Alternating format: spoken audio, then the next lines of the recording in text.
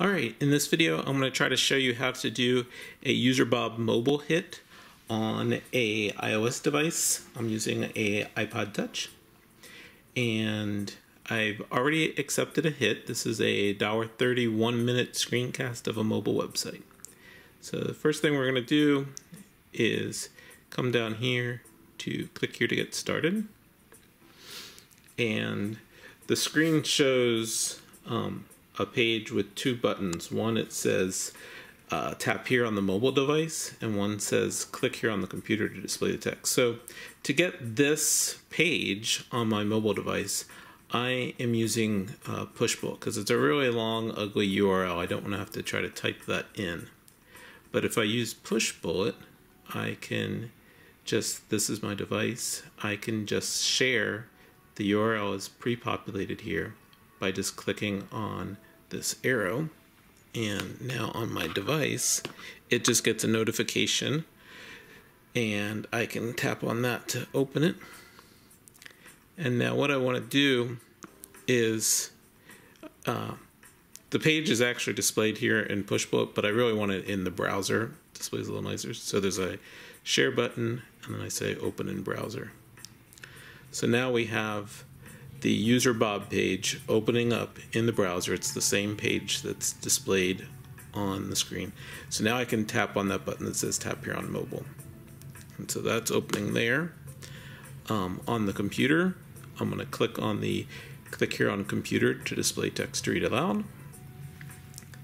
So that's the the text that we're going to get started. We're ready now to actually start recording our our iPod screen. So I'm going to go ahead and bring up QuickTime. Um, to Launchpad, QuickTime. There it is. And what we want to do is go to File and do a new movie recording. And hello. But we want to change the input, which is this little arrow to the right of the red record button. And pick our pink iPod Touch. Okay, so in a second, now we have the iPod Touch is displayed here. It's in uh, portrait mode. There it goes into landscape. And so we are actually, did we press the button to start recording? We picked it. We just need to click on the red record button to actually start recording. So we'll click start recording. And now we want to do this read out loud, which is on the computer. Pretend you did a search on your phone and the first search result brought you to this site. So we'll click the display instructions and timer. So now we got the timer on the computer and the instructions that we can see. And we're recording the phone. So instructions say talk about your first impression of the website.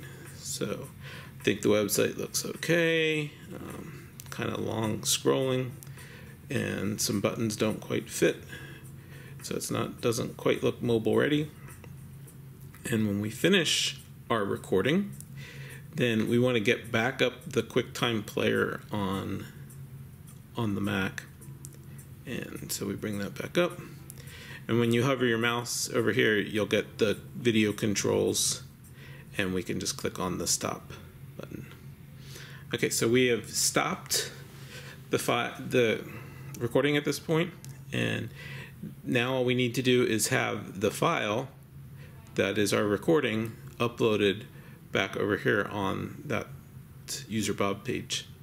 So let's see what we get.